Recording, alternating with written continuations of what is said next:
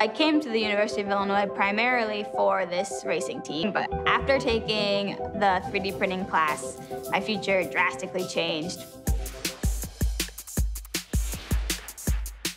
At the elite level of wheelchair racing, equipment is key. We all have racing wheelchairs that are measured and sized exactly to our body. And then in order to propel your racing wheelchair, we use these gloves. People charge a lot for these hard gloves because they are so complicated to make. And so I was able to scan that glove and now I can make identical copies of that glove for under 250 right now in just material cost. This is the glove that I brought into the scanner, and this is the one that I printed. So you can see that they're identical. I was really excited about this technology because the new glove that I created is over 50% lighter in weight. In 3D printing, especially for people with disabilities, the possibilities are endless.